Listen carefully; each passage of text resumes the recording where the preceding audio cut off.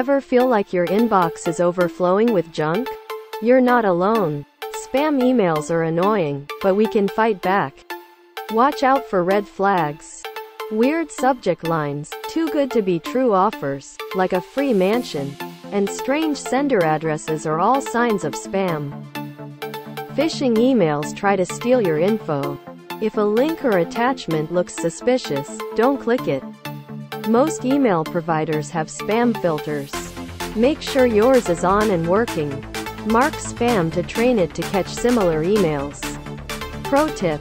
Use separate emails for different things. One for school and important stuff, another for online shopping. Sharing your email publicly can attract spam bots. Consider a temporary email for social media. Opened a spam by accident? Don't reply or unsubscribe, just delete it. With these tips, you'll be a spam fighting master in no time. Don't forget to like and subscribe.